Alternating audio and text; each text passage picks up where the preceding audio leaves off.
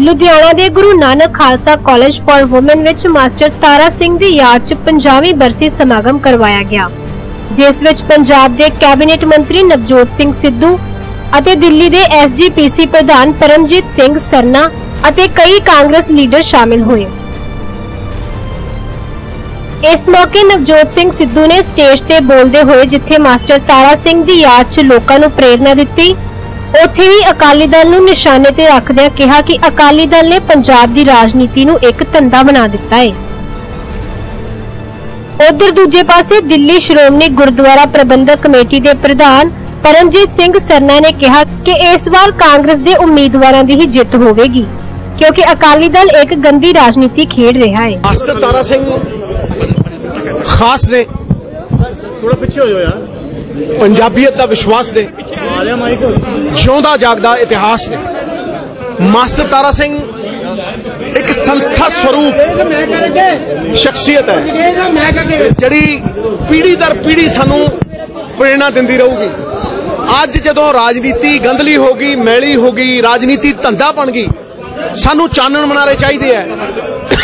ਜਿਹੜੇ ਬੀਜ ਬੋ ਜਿਹੜੇ ਬੀਜ ਬੋਣ, ਫੁੱਲ ਖਿਲ ਕੇ ਜਮਨ ਨੂੰ ਬਾਹਰ ਦੇਣ ਔਰ ਦਿਸ਼ਾ ਦੇਣ ਉਹਨਾਂ ਦੇ ਵਿਚਾਰ ਲੋਕ ਮਿਲ ਕੇ ਪੰਜਾਬ ਨੂੰ ਸੰਵਾਰ ਦੇਣ ਅਲਖ ਜਗਾਉਣ ਵਾਲੀਆਂ ਕਿਰਦਾਰ ਨਾਲ ਭਰਪੂਰ ਦੇਣ ਵਾਲੀਆਂ ਸ਼ਖਸੀਅਤਾਂ ਮਾਸਟਰ ਤਾਰਾ ਸਿੰਘ ਵਰਗੀਆਂ ਅੱਜ ਸਾਡੇ ਲਈ ਰੋਲ ਮਾਡਲ ਬਣ ਕੇ ਸਾਹਮਣੇ ਆਣੀਆਂ ਚਾਹੀਦੀਆਂ ਨੇ। ਚੰਗੇ ਲੋਕਾਂ ਦਾ ਸਨਮਾਨ ਹੋਣਾ ਚਾਹੀਦਾ ਹੈ ਔਰ ਚੰਗੇ ਲੋਕਾਂ ਦੀ ਯਾਦਗਾਰ ਬਣਨੀ ਚਾਹੀਦੀ ਹੈ।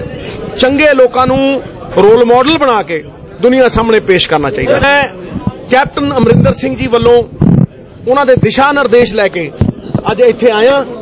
ਕੈਪਟਨ ਸਾਹਿਬ ਨੇ ਮੈਨੂੰ ਕਿਹਾ ਕਿ ਮੈਂ ਖੁੱਲੀ ਛੁੱਟੀ ਦਿੰਨਾ ਕਿ ਜੋ ਪਰਿਵਾਰ ਦੇ ਸਦੱਸ ਕਹਿਣ ਔਰ ਜਿਸ ਤਰ੍ਹਾਂ ਸਰਨਾ ਸਾਹਿਬ ਕਹਿਣ, ਅਸੀਂ ਮਾਸਟਰ ਤਾਰਾ ਸਿੰਘ ਲਈ ਉਹੀ ਕਰਨ ਨੂੰ ਤਿਆਰ ਹਾਂ। ਕਰਕੇ ਹੋ ਸਕਦਾ ਹੈ ਕਿ ਸੀਐਮ ਸਾਹਿਬ ਨਾਲ ਬੈਠ ਕੇ ਇਹ ਨਿਰਣਾ ਲਿੱਤਾ ਜਾਵੇ ਕਿ ਉਹ ਮਿਊਜ਼ੀਅਮ ਬਣੇ, ਲੇਕਿਨ ਕਿਉਂਕਿ ਬੀਬੀ ਕਿਰਨਜੋਤ ਕੌਰ ਜੀ ਨੇ ਇਹ ਕਿਹਾ ਔਰ ਸਰਨਾ ਸਾਹਿਬ ਨੇ ਇਹ ਕਿਹਾ, ਉਹਨਾਂ ਨੇ ਤਾਂ ਕਿਹਾ ਸੀਗਾ ਕਿ ਬਹੁਤ ਵੱਡਾ ਬੁੱਤ ਔਰ ਚੇਅਰ ਯੂਨੀਵਰਸਿਟੀ ਦੇ ਨਾਲ। ਲੇਕਿਨ ਸਰਨਾ ਸਾਹਿਬ ਨੇ ਇੱਕ ਕਦਮ ਅੱਗੇ ਵਧਦੇ ਹੋਏ ਇਹ ਕਿਹਾ ਕਿ ਯੂਨੀਵਰਸਿਟੀ ਬਣਾਈ ਜਾਏ। ਦੇਖੋ ਜੀ ਅੱਜ ਮਾਸਟਰ ਜੀ ਦੀ 50ਵੀਂ ਬਰਸੀ ਅਸੀਂ ਮਨਾਈ ਹੈ ਜਿਹਦੇ ਵਿੱਚ ਤਕਰੀਬਨ ਸਾਰੇ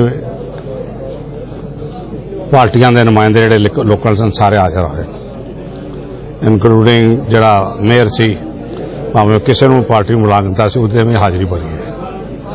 ਇਹ ਦੱਸਦਾ ਹੈ ਕਿ ਮਾਸਟਰ ਤਾਰਾ ਸਿੰਘ ਐਸੀ ਸ਼ਖਸੀਅਤ ਸੀ। ਜਿਸ ਨੂੰ ਸ਼ਰਧਾ ਦੇ ਸਤਿਕਾਰ ਭੇਟ ਕਰਨ ਲਈ ਹਰ ਬੰਦਾ ਅੱਜ ਹਾਜ਼ਰ ਸੀ।